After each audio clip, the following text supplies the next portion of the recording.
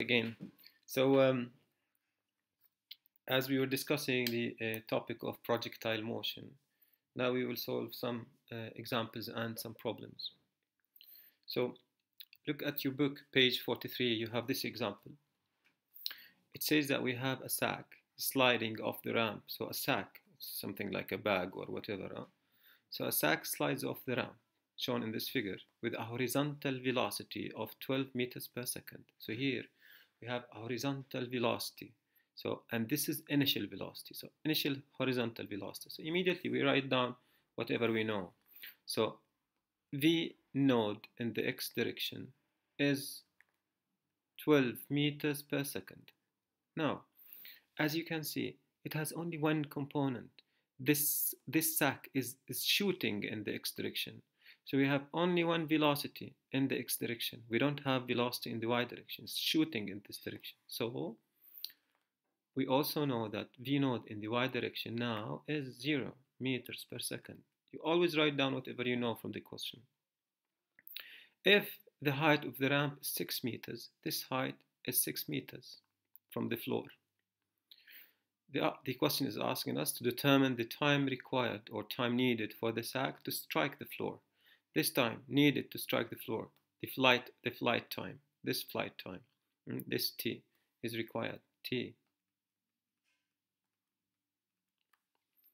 And the range r, and remember guys, r, we said r, this range, you see it's on the x-axis, so it's basically x final, the position, uh, the final position in the x direction minus the initial position in the x direction. This is r, we are required to solve for r and t.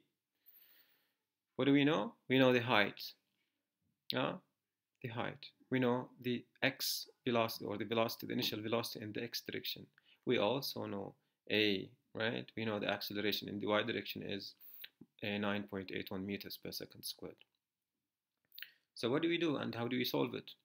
We go back and take a look at our five equations. Now, let's just let's just look at the second equation here. What does it say?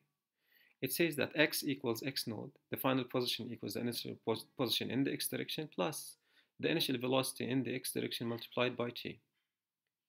Now, if you rearrange this one, hmm, you get x minus x naught, which is r, right?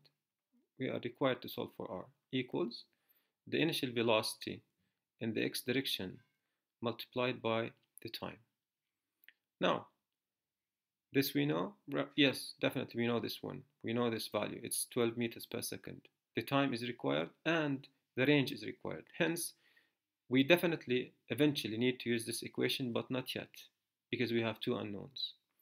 So go here into the, the, the vertical uh, uh, uh, conditions. Now what do we have? First one, it says that the final velocity in the y direction, we don't know that, right? We don't know that, and we don't, we don't know the time. We know v naught in dy is 0. So still we cannot use this equation. What we need to find, look guys, we need to find either the time or the range. But we cannot get range from these equations because this range is defined in the x direction. So we need to find an equation that could help us find the time, the flight time. Let's go and check with the second one. Second one, y equals y naught, the final position in the y direction. Do we know it? Yes, it's 6. The initial, uh, the initial uh, position in the y direction, do you know it? It's zero. I mean, depending on where you're taking your reference. If you take your reference at point C, for example, then the initial height is zero. The final height is, uh, is, is six or vice versa. The initial height is zero and the final height is minus six, right? Because it's going in the negative uh, y direction. Anyways, it depends on where you take your reference point. Here, the, the book is taking the reference point at A, at exactly the, the, the first uh, second this uh, sack starts shooting off the ramp. So, do you know these two things? Yes, we do. Do you know the initial velocity in the y direction? Yes, it's zero. The time is required. Do you know g? Yes, g is 9.81. So now you could use this equation. Start with this equation. So now if we take, as I said, if we take our uh, coordinate system with the origin at point A, uh, now we have the initial, uh, we have the initial height here is zero the initial height is 0. The final height is minus 6. So apply these into this equation again. We just write it again. y equals y naught plus the initial velocity in the y direction multiplied by what we are looking for, which is the time, minus half gt squared. See guys, half is already, the, the, the minus sign is already taken into consideration, so do not put g as minus 9.81 again. Okay, so y, we have to look for the final, final y. So final y. So we started here. The final y is at point C, right? So we are going in the negative y direction. So take y as minus 6 meters. Minus 6 equals the initial position at y in the y direction is 0 plus hmm?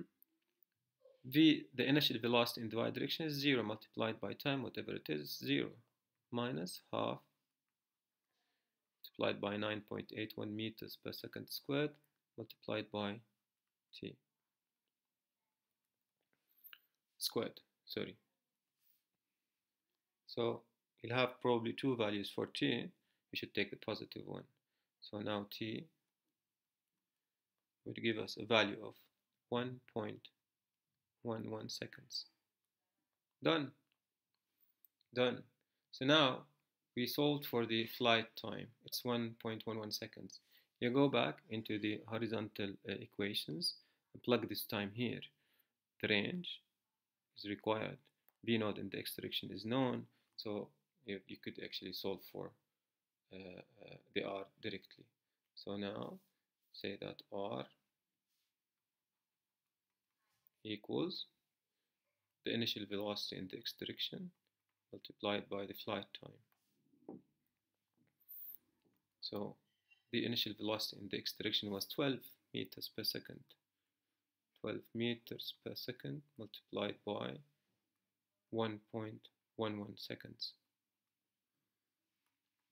And this should give us 13.3 meters. That's it.